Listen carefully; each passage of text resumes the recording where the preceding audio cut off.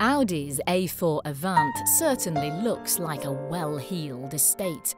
But does it pass muster when it comes to hard work? There's a pretty bewildering range of engines and transmissions available in the A4 Avant, but don't panic. We think you can't really go wrong with the 2-litre diesels, particularly if you're a company car driver. But the 1.8-litre turbocharged petrol is a fine alternative. If you're power hungry, you could shell out for a 2.7 or 3 litre diesel or even a 3.2 litre V6 petrol. Handling and grip are good, although the suspension can thump a little too much for our liking at lower speeds. The Avant is generally comfortable cruising along a motorway, but you'll notice the wind noise at these higher speeds.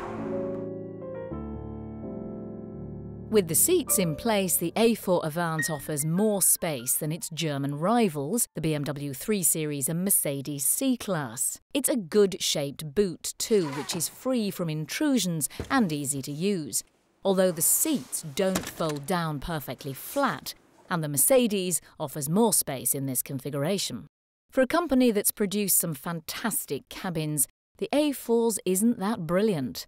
The materials aren't as special as on other cars from the manufacturer, while the pedals are offset to one side. There's plenty of space for four in the cabin though, and you also get all of the mod cons and safety features that you'd expect from a car that comes at this price.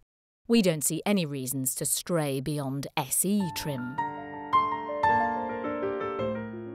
The A4 Avant is more affordable than its key competitors, Resale values are okay, but not as good as they are for BMW and Mercedes. You'll save up front, but your car will also be worth less after three years. Other day-to-day -day running costs are perfectly acceptable. Unless you go for a V6, you'll find fuel economy is good and company car tax bills low.